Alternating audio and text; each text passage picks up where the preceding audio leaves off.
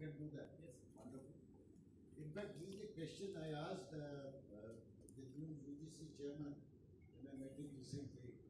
I said, why is it that use of technology and use of this pedagogy be limited only to professional teachers? It should be used by all higher education teachers. In fact, I am extending it to say that it should be used even by high school teachers.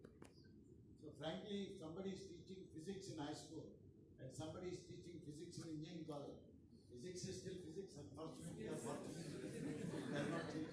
Maths is still maths. So these techniques should be used. All right. What is the level of